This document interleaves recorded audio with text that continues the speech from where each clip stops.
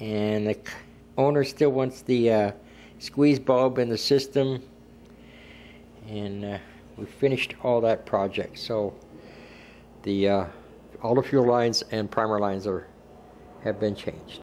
A new primer was installed because the old one leaked. And so we installed a new primer run the uh, run the lines all the way back to the tank at the beginning of our uh, inspection, we found a crack, and it's a, at the beginning of our inspection. You'll see it on the film. We found a crack right in this tubing of the uh, prop ring. I inserted a another pipe within a pipe, if that makes sense. So I've got an insert. I've got a pipe up in here and a pipe up in here. I put two bolts through it to hold that, and then bolted it back through the through the frame. So we've got the prop ring is now pretty sturdy.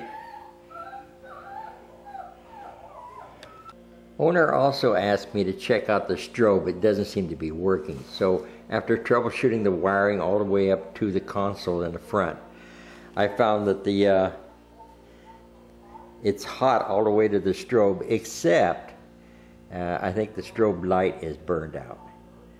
So that's that's the only problem I could find is I think the strobe uh, bulb is burned out. Part of our inspection is to inspect the parachute. So we've laid it out. I'm going to completely lay it out so that we can inspect the, the cells and the lines and make sure that uh, everything is in order. The owner did mention that he might have a couple broken lines, so we'll check those. This is a Performance Design parachute, and I'm going to get the, uh, see if I can get the serial number off of it and the date manufactured. Okay, we've laid it out on its back. I kind of went through and opened it up here, checking for the lines. Now I'm going to undo the line socks and see uh, and check the lines. All right, we're just going to check the lines. We've taken the line socks off and we're just going to kind of walk down through here. Make sure that these lines are all connected properly to each each of the uh, leading edges. This is this is the back. As we can see, these are looking very good shape. We'll go to the other side. We're going to check the leading edge again.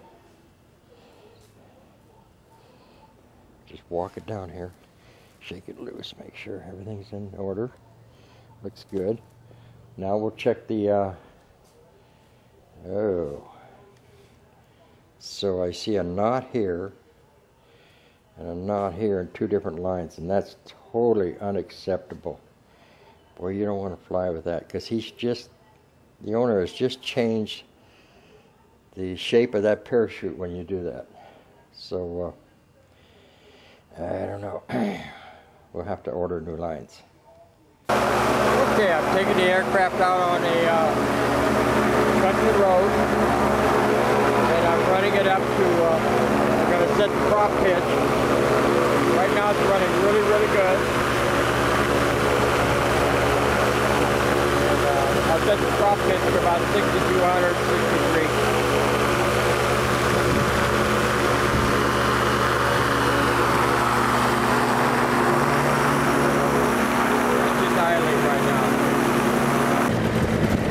Okay, the idle is really rough.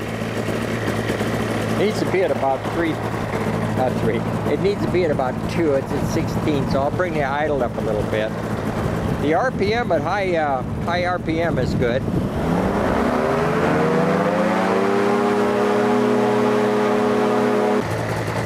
Okay, we've set the pitch at uh, about 63.10. In the air should be about 62. Uh, we've upped the idle a little bit. Uh, engine's running good. I don't hear the, uh, the gearbox chatter. Looks good. I think we've completed it. We need to test fly it and then I think we're done.